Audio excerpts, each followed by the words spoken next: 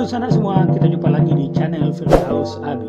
Channel ini akan menyampaikan informasi-informasi inspiratif untuk kita semua. Yuk, tetap di sini.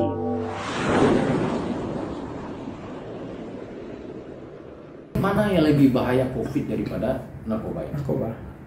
Ini saya berikan pemahaman.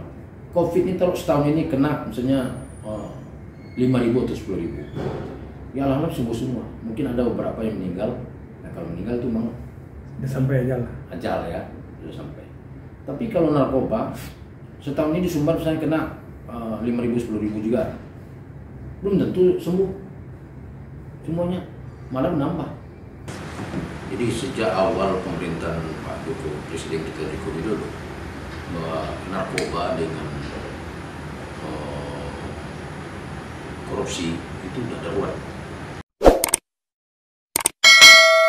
Sebelum dilanjutkan, jangan lupa komen, like, subscribe, dan tekan lonceng untuk mendukung kanal ini bisa berkembang dan mengabarkan info-info inspiratif buat kita semua.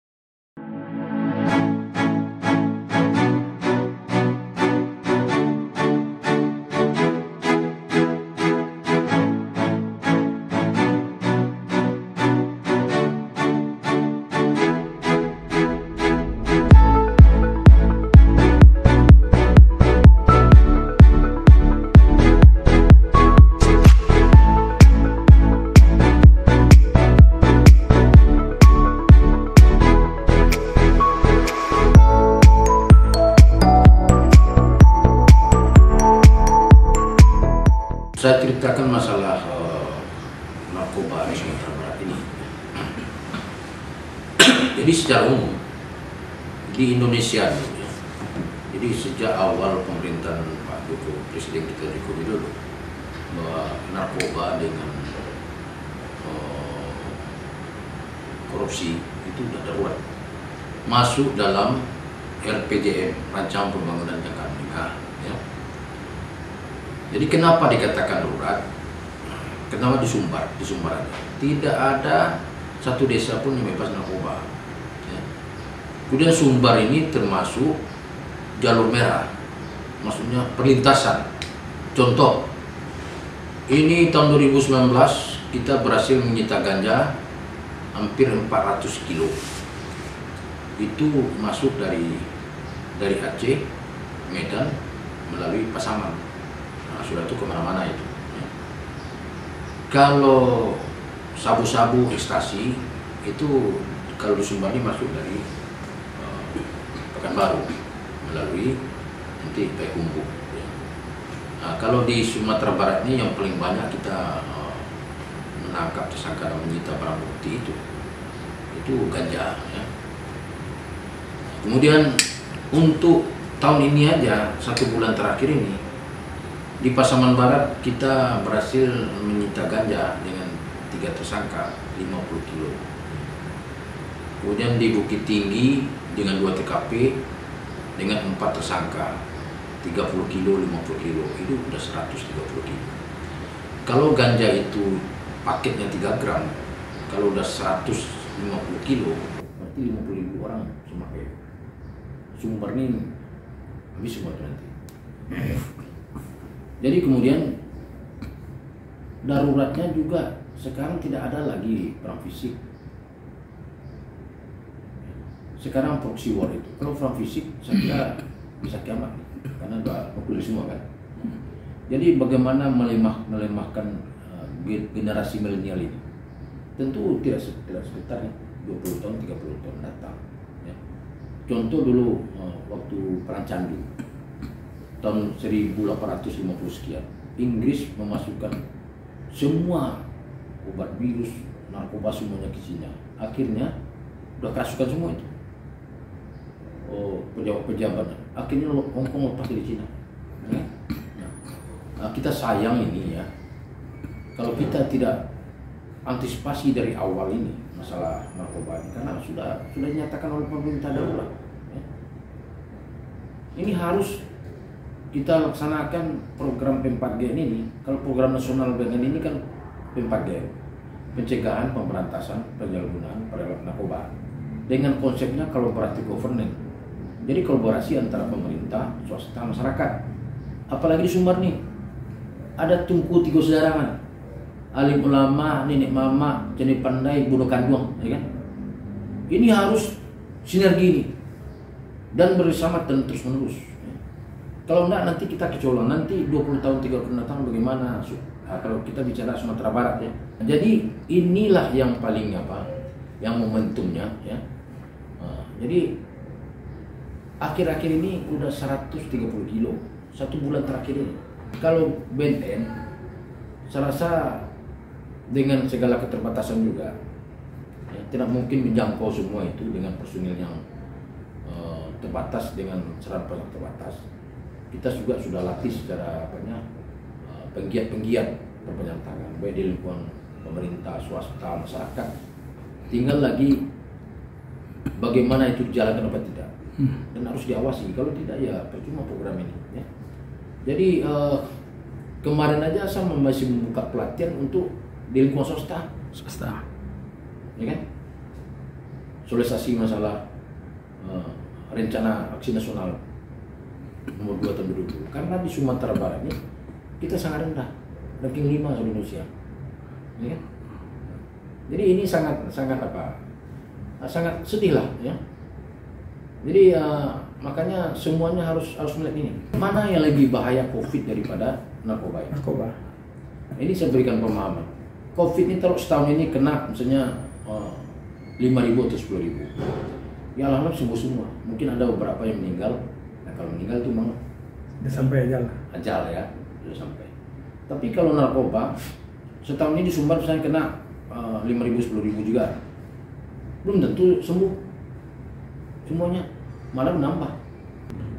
Ini yang paling apa uh, yang paling miris lah ya yang harus kita atasi bersama. Jadi keterbatasan itu tidak menjadi hal kendala betul. Karena BNN ini kita bisa mengganding siapa pun hmm. ya.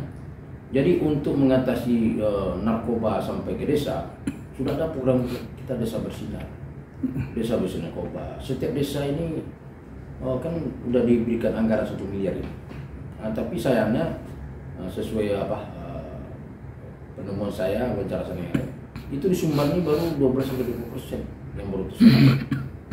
Padahal ini tinggal dua bulan. Nah, ini kan sayang juga. Jadi ya mereka itu bisa digunakan untuk uh, pelatihan. Ya. Ya. Apa yang tidak mengerti mungkin di desa pembina desa, dia tidak mengerti masalah keuangan, dibuat pelatihan manajemen keuangan, keuangan. Ini tinggal memaksimalkan. Nah inilah perlunya kalau kolaboratif. Ya kalau semuanya cuman serahkan ke BNN saja. Ah, iya, ya, atau tidak mau tahu semua lada-ladanya. Jadi begini. Soalnya kalau kita tidak bekerja, mungkin nggak nampak nih. Ya. Oh, aman-aman aja sumber ini. Nah, tapi setelah kita bekerja nampak semua. Sama aja dibandingkan dengan lalu lintas. Tidak ada razia. Sedikit hilang. Ya. kan? Tapi setelah razia, nampak. Jadi itu tidak apa juga. Tidak apa mestinya. Oh, sumber aman-aman Ya amannya karena tidak bergerak, eh, tidak pernah apa eh, turun ke lapangan, tidak pernah melakukan upaya paksa gitu kan. Sedangkan masukan-masukan sudah banyak, ya kan? Banyak di desa itu banyak pak. Kadang dia kan tidak kalau terkendala, dia takut melapor dan korban saja lah Ya. untuk dia pak dikasih apa oh, program eh, untuk dia kan direhabilitasi, ya kan? Bang, kita kan pernah ada semacam deklarasi anti narkoba dulu bang. Hmm. Eh, setelah itu kan hilang bang. Hmm. Persoalannya apa dia ini bang? Nah, jadi begini. Saya masuk di Sumbar ini jadi kepala BNN itu bulan 5 tahun 2018. Ya. Sekitar pas tahun lah. Satu, satu Mei juga nggak salah. Saya buatlah deklarasi milenial Nagari Bersinar. Itu mengundang dari mulai gubernur, seluruh bupati, wali kota, perangkat desa itu setelah itu ada tiga, Bamus, Kan, Wali Nagari gitu kan itu hampir 5000 orang UNP pernyataan sikap udah tak tangan semua Ya. tapi sekarang ya mengawal itu kalau nggak dikawal ya mana bisa jalan itu Hmm. jadi akhirnya uh, tinggal kenang aja ya pernyataan sikap sampai di situ selesai nah, gitu, Nah, tugas mengawal ini siapa sih semestinya bang? Oh, semuanya Ya. semuanya pemerintah daerah mengawasi masyarakat mengawasi swasta mengawasi karena udah, udah itu sebilang konsepnya itu Ya. Ya, jadi maksudnya kalau sudah tenggelam saya ikan di launching misalnya program Nagari Bisinar Ya. itu kan akan dicek terlaksana nggak itu dengan launching launching saja nanti Ya, ya. Jadi hari-hari itu di situ harus ada Babi Mas ada dari Pol- Polri, Eh, Babinsa, ya kan, dari BNN, dari desa. Leading itu sek itu itu sifatnya pertama itu preventif, Hmm. ya kan? Nah, mungkin kalau ada yang dicurigai di desa itu yang narkoba bisa di, di apa di- dilaporkan ke yang terdekat ya ke polsek bisa ke polres bisa ke BNN bisa kan itu nah begitu jadi kalau ada yang korban nah, dipanggil nanti direhab. Dibina betul desa itu supaya memang basi- basisnya kan dari mulai dari desa ya, Desa. ya kan? Ya. Kalau nggak bisa dibina ya kita mainkan dengan penindakan. Karena preventifnya jauh lebih baik daripada represif. Represif. tapi makan waktu yang cukup lama ya kan? Sebetulnya tangkap menangkap itu udah biasa. Cuma bagaimana program uh, Pempat ini jalan mulai dari pencegahannya pemberantasannya dan rehabilitasinya itu yang paling penting nah itu ada di BNN semua Bisa bang gambarkan bang eh, tingkat kerusakan generasi muda ini di Sumatera Barat terhadap narkoba ini? Nah, jadi begini, di kita eh, ada namanya angka prevalensi, ambang batas, ya. Jadi prevalensi itu kalau ukur Indonesia 1,7. Satu. Ya. Jadi kita di Sumatera Barat ini jumlah penduduk kita 4 juta sekian hampir 5, 5 Hmm. juta lah. Jadi sekitar hampir 70 ribu dalam usia produktif 15 sampai umur 59 tahun. Itu hampir 60 sampai 70 ribu yang kena narkoba. Kenapa? Ya kan gitu. Jadi ini kalau dibandingkan dengan prevalensi sudah mendekati mematas Oh, ya. Tapi kalau Sumatera Barat ini kalau kita bandingkan dengan Medan, Riau, memang masih masih di bawah eh, Medan sama Riau. kalau pakai lampu lampu apa itu bang? Ada lampu kuning, Oh ini udah ada lampu merah. udah lampu merah pak. Hmm. Nah, lampu merah ini ya baru baru lampu merah kan. Ya. Nah kalau dibiarkan terus ini gimana? Ya kan? Nah, jadi nanti saya bilang nanti ini tidak bisa dalam waktu kurun waktu 20 tahun 30 mendatang. Bagaimana kira-kira saya tidak bicara Indonesia lah karena kita di Sumbar kan. Ya, Sumbar, Bagaimana Sumatera Barat ini nanti, ya kan? Nah, sudah banyak itu yang kita lihat. Dan saya selama di sini semuanya sudah banyak kita. Yang dari Pugen Tinggi pun ada yang kita tangkap. Anak-anak kuliah kan. Bukan bukan bisa kita rehab lagi karena sudah terlibat di jaringan Oh, udah pengedar ya kan. Nah, kemudian eh, di masyarakat sendiri di masyarakat tuh terutama begini yang pertama udah jelas ekonomi lemah ya kan Nah, kemudian eh, spiritualnya rendah juga hmm. maksud saya begini kalau dia taruhlah dia miskin ya tapi dia mempunyai spiritual yang kuat dia tidak mau melakukan hal lain ya. Hmm. Nah, ini kan karena kan ada persoalan mungkin ekonomi masalah keluarga nah, larinya ke narkoba Narkoba. nah, ini kan bahaya ya nah, ini banyak tapi bisa kita eh, teliti saja lah ya. hasil penelitian juga ya itu 60 ribu sampai hampir 60 70 ribu yang di Sumbar ini yang terkena kan di negara lain terutama di Cina itu semua barang-barang haram itu diproduksi tapi jangan coba dipakai di tempat dia aku mati Ya, tidak Ya. bisa dipakai di tempat dia. Ya. Nah, jadi kita ini yang harus kita waspadai. Dan intinya kita buka mata lah, ya, mulai dari pemerintah di Sumatera Barat ini, swasta, ya, masyarakat. Karena pelaksanaan eh, program PPK ini baru pelaksanaan 20% nomor 5 dari dari bawah di Indonesia ini kan kasihan kita. Ya pertama mungkin anak ini kan begini, kalau di sekolah sering bolos, ya kan? Kemudian tahu pulang, kemudian eh, marah-marah minta uang, misalnya kan? Untuk itu untuk itu. Jadi pengawasan itu ya mulai dari rumah, ya. Tapi seharusnya ini sebetulnya program kita sudah ada. Jadi anak-anak itu dari kecil itu ya harus pendidikan agamanya harus harus bagus spiritual. Nanti kalau dia sudah mengerti Al-Quran apa, dia kan tidak berani berbuat yang jauh, ya kan? Jadi kalau itu ada yang sang pencipta yang maha pencipta nggak nggak berani melakukan kesalahan kan takut. Islam buat takutlah dia. Ya. kan? Bukan takut sama manusia. Sekarang kan kita banyak kalau diawasi aja oleh pimpinannya baru apa? Kalau enggak udah masa bodoh kan itu. Ya. Nah, di rumah juga begitu. Karena uh, keteluran dari pihak keluarga semua lah kalau sekolah mulai dari orang tua guru lingkungan kan? Jadi kalau kita punya anak pun lingkungannya juga harus kita cek. Anak kita baik belum tahu lingkungannya baik. Ya. Harus diawasi. Kalau di sekolah kalau dicek betul nggak sekolah itu? Kalau dia ke rumah teman belajar betul nggak itu? Dicek. Memang harus apa? Sekarang itu kan nggak bisa instan saja. Karena pengaruh lingkungan sangat mempengaruhi. Nah, jadi ini banyak yang gitu kecolongan eh, orang-orang tua begitu. Ya sesibuk apa pun kita tapi namanya menyiapkan gener- generasi ini kan bukan gampang. Jadi semuanya terkait ya masalah ini juga harus ada eh, apa ini dia program pemerintah kan sudah ada masalah reformasi mental. Tinggal bagaimana ini eh, apanya faktanya di lapangan. Ini harus digencarkan ini ya kan? Karena untuk memperbaiki perbaiki yang usaha-usaha ini ya kan? Misalkan banyak yang instansi pun mana-mana pun yang uh, personilnya yang terlibat narkoba jadi di mana pun instansinya mesti ada yang yang apa ya hukumnya korban narkoba ada ya kan? Gitu.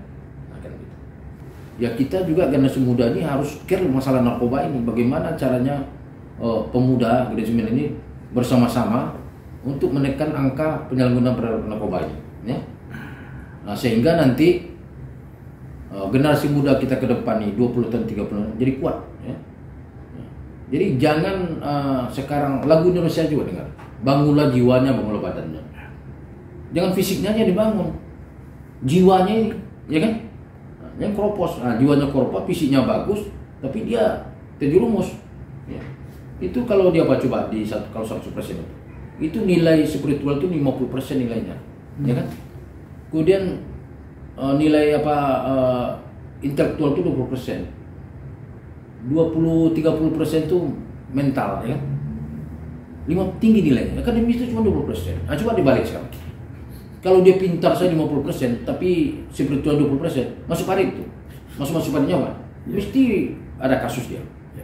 Karena dia tidak kuat. Jadi paling paling tinggi nilainya spiritualnya. Masalah agama, ya kan? Jadi harus kembali ke basic, ke basic lagi. Jadi ke apa? Ke masalah spiritual agama harus harus tingkatkan. Baik di lingkungan pendidikan, ya kan? Negeri swasta maupun lingkungan apa? Perguruan tinggi semua, mulai dari mulai dari TK sampai ke atas. Ya. Nah, mungkin sejalan ya. Jadi kita berantas-berantas tapi tidak disiapkan ini mindsetnya dirubah. Jadi juga tidak jadi apa-apa nanti. Nanti misalnya band ini sebagai daur ulang. Nanti sudah direhab, sudah apa? Nah, dikembalikan di masyarakat ini perlu dikontrol juga itu. Jangan mereka dikucilkan. Nanti dia kecewa balik lagi aja jadi memakai lagi balik lagi ke Medan. Itu aja kerja Medan nanti. Uh, siklus ulang daur ulang ya berulang-ulang. Jadi gagal juga. Jadi tidak bisa Medan sendiri. Ya. Di kelurahannya nanti mulai camatnya, lurahnya, kemudian dinasnya dinas mana yang terkait itu. Dinas mungkin dinas kesehatan, Ya. dinas apa lagi macam-macam ya yang kepala desa kepala desa ya kan Sampai di sini dulu jumpa kita kali ini dan tetap dukung channel ini sehingga kami bisa memberikan informasi-informasi yang inspiratif untuk kita semua.